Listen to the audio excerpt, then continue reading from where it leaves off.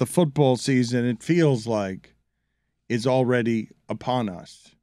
And the reason it feels like this is because Greg Cote is serving finally a grid of death punishment. He does not know what he was signing up for.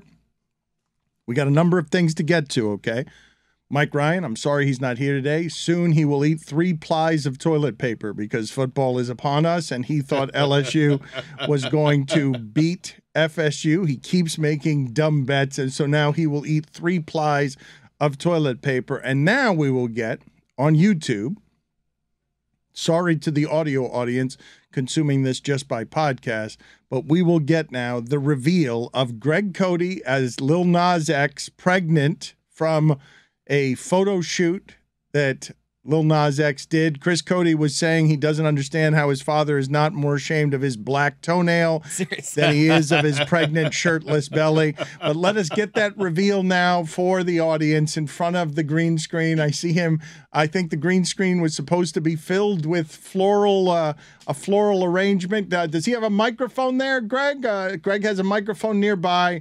Uh, yes. How are you feeling right now? Uh, how, how do you feel? You've got uh, flowers that have butterflies in them. He looks amazing. How do, how do you feel out there? It's tough at your age to be on your knees, is it not? Calling me Greg. I'm Little Nas XXL.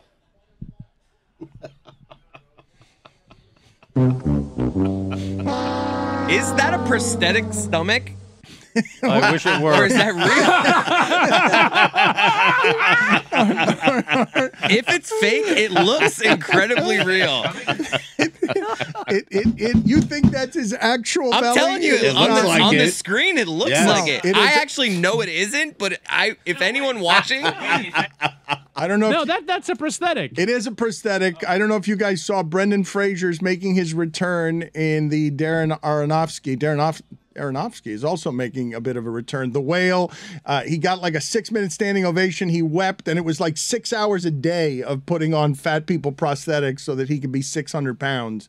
So he could play 600 pounds. It seems like an awful way to spend your day.